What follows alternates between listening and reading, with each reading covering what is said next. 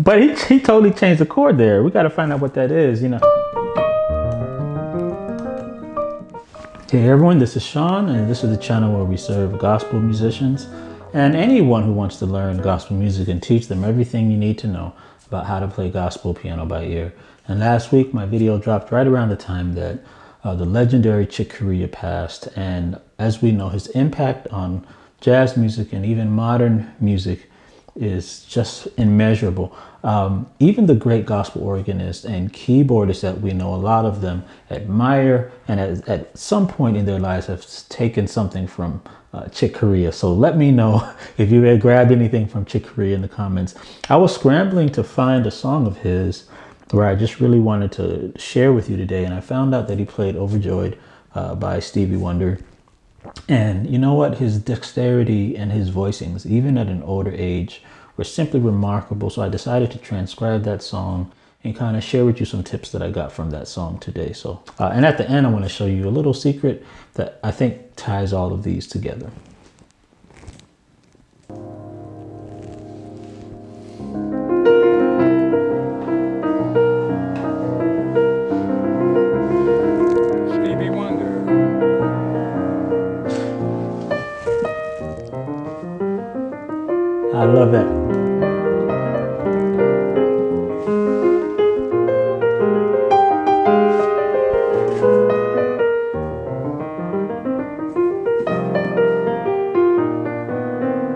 Ah, right there. So I like what he did there, and this is not going to be exactly how he used it, but just for me, what I got out of that um, hidden with your pinky hit an A, hit an on left hand E flat, F, and and you have you're really it's really this chord, right? It's really kind of like a it's kind of like the A minor 7 flat 5, but you're replacing the G with the F. But I like how he approaches the C from a half step below. And one of the things I thought about was using this in a song like, uh, say, Amazing Grace, and what we would do is we would use this, see this A, this A is right next to this B flat here. So if I'm about to play a chord with a B flat in the bass, pro probably some kind of a sus 13 voicing, or maybe even, even uh, maybe even a B flat minor nine, right? I can use that voicing to approach that. So, um, so let's do, let's do Amazing Grace in E flat. Let's find out where we can use this. So.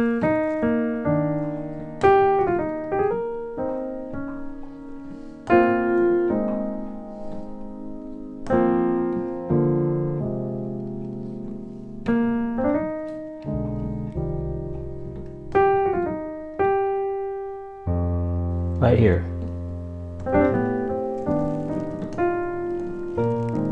So that shows me a place I can use that. So that saves a wretch like me, right? And I was going to a B flat sus. So right before I play this, you know, we could have gone like me, but let's use our Chick Corea voicing. So, so we're trying to figure this out right. And what we're doing is we're using the melodic minor, C melodic minor. We're starting on the leading tone, which is a B. We have our voicing in the left hand.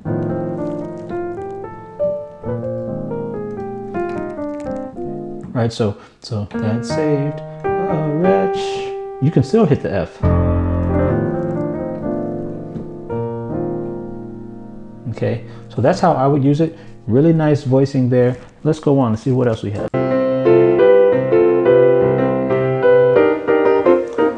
This is an interpretation of Overjoyed by Stevie Wonder.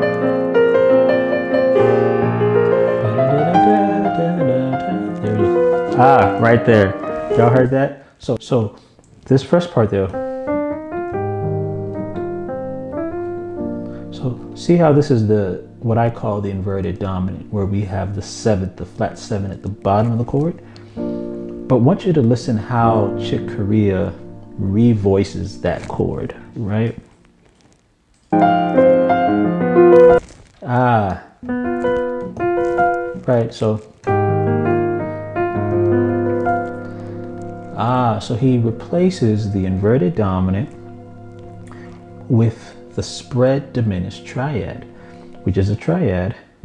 Okay, I like seeing it as a diminished seventh chord where the that second note, the B, is up top. Okay, in inverted, it would be like this. I can keep inverting it. Now, I did a presentation on this on my website. Really, very valuable uh, presentation on how to understand and use the diminished sound. So if you're a member, log in and check that out because one of the first things we said in that presentation was that spread diminished triads and diminished chords in general, in gospel particularly, like to move to uh, minor voicings, right? So when he goes, now he's going to this, or right, he's going to this minor sound. So someone's gonna say, well, how can we use that? Well, number one, he's approaching this G. He's hitting this G minor, a half step up. You play that diminished, spread diminished triad, half step above your minor chord. Or it could also be a half step below the minor chord. So let's do this. Let's do another song. Um, let's do I Will Lift Up Mine Eyes to the Hills. And let's use the chord voicing from tip one and this diminished sound here. But I think what I'll do is I'm going to invert it and use this one. So check this out. So um, lift up my eyes. So.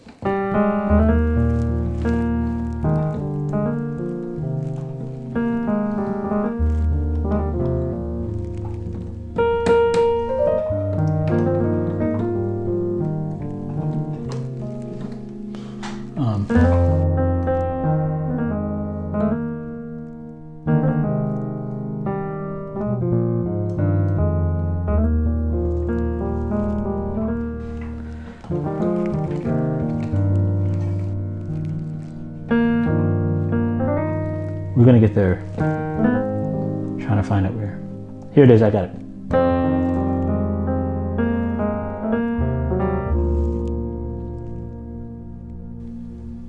And I'm, I forgot.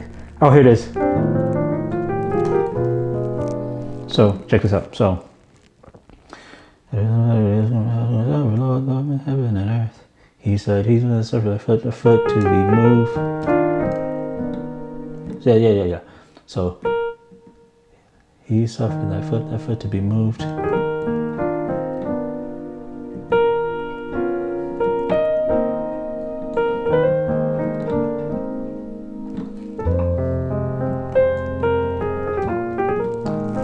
Here it is.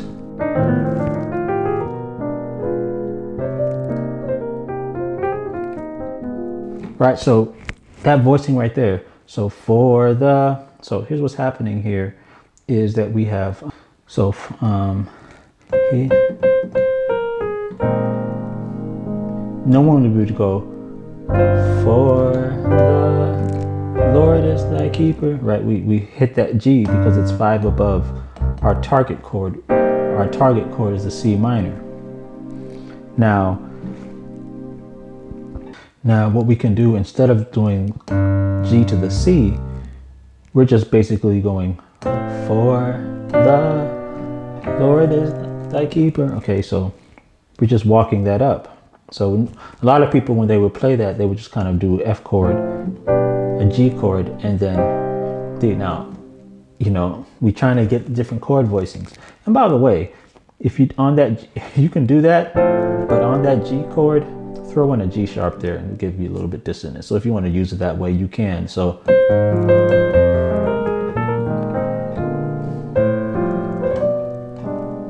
You can do that, give you a little bit voicing. So that would be a F chord, G chord, play that uh, G sharp on there. But what we're doing here is totally different. Got that Chick Corea chord for the A chord. So instead of going to F, I'm doing, right? So now I have the melodic minor going up, diminished scale when I hit the B, right? And then I go to my target chord, which is the C minor. So, right, so let's do that slow. He will not suffer thy foot.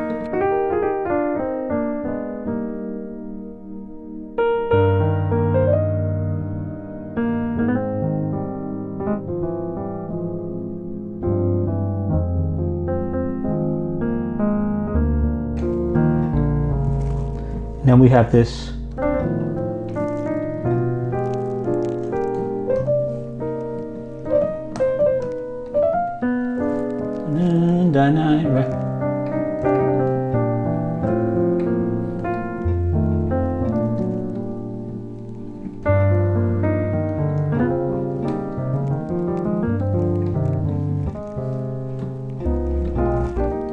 So, so yeah, man. So a lot of lot of things. We we combine both tip one and tip two. We getting all kind of voicings that from Chick Corea on this just this one song, right? So let's check out. Um, yeah, that's that thing I like, man.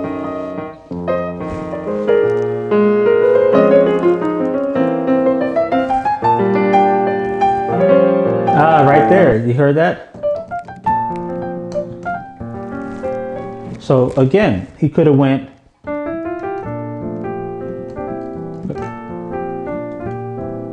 he could have went C chord, which is the and had the B flat in the bottom, but he replaced the dominant with the spread diminished. I keep doing the wrong thing. All you're doing is replacing the the if uh, if you want to make this really easy, it's just the triad and all we're doing with this triad is taking this bottom note and moving it up a half step. So, okay. All right, let's go for one, let's, do, let's find one more thing here that we can use uh, from this song here.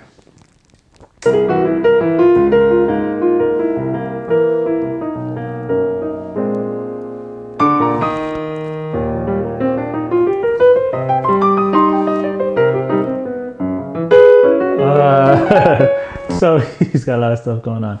But he, he totally changed the chord there. We got to find out what that is, you know. And something like that. And then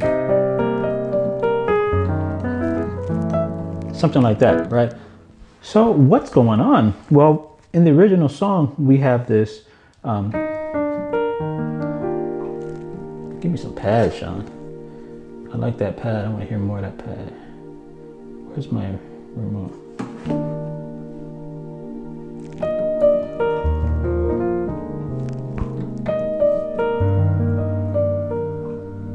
No.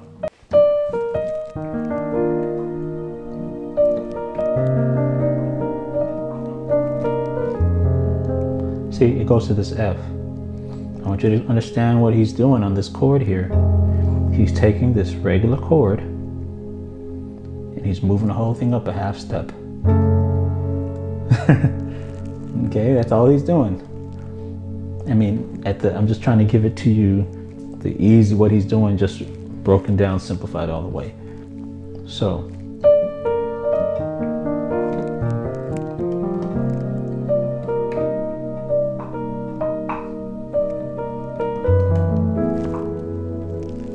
see So went up a half step, went up a half step. How's that going to help me? Well, I don't know. I'm gonna have to uh, have to try a song where we can do this in. So let me tie all these tips together because this is a perfect time for me to tie these together because we get I'm kind of running up my time.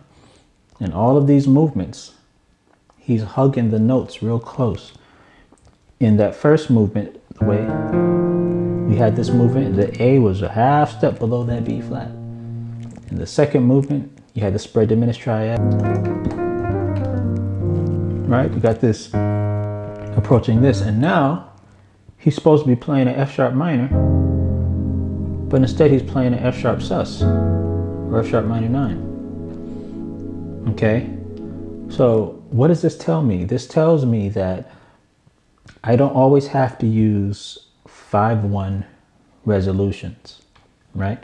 I don't always have to say, happy birthday 5-1 to you, 5-1, which is what we're all used to. Chick Corea hugs the notes by going half steps, right? At least in, at least in this particular song, in this version, you know, he's doing half steps. So that would sound like something like, um, Happy birthday to see how see I'm right above the C, half step above. Right?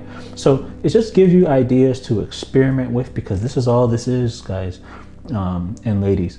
We just, music is about experimentation and just about trying new things. So hopefully this video will give you some ideas on how I like to look um, at this song. So if you have something that you saw from the video that I didn't possibly didn't cover, let me know in the comments. I'd love to hear from you.